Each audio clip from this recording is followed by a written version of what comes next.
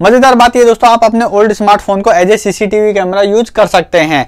आपको कुछ नहीं करना, दोस्तों ओल्ड स्मार्टफ़ोन और न्यू स्मार्टफ़ोन जो आपके पास लेटेस्ट है। उन दोनों में एक एल्फ्रेड कैमरा नाम से ऐप आता है, उसको डाउनलोड कर लो।